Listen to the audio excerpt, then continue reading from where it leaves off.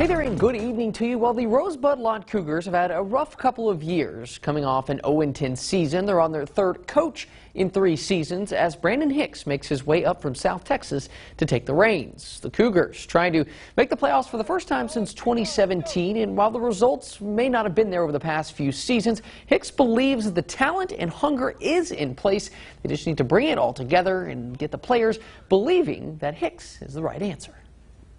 Uh, I don't think I've ever been more excited about anything in my life, uh, and that's that's partially because of the environment and being able to get back to somewhat normal, but also because of the kids and the staff that we have here. I'm just extremely blessed to be able to have this opportunity to come in and, and uh, change the culture. He's a great guy. He has a lot of motivation and wants to change the tone of this school and make us as best as we can be. I think he's going to be a really good coach this year. Uh, just by the way he's helping us in practice and stuff, showing us how to do things. I think he's going to be really good for us this year. Uh, I think he's just uh, he's a phenomenal coach. He's up tempo and he wants to change the culture of the school. The heart and soul there, the offensive line. I'll have more from the Cougars coming up tonight at 9:15.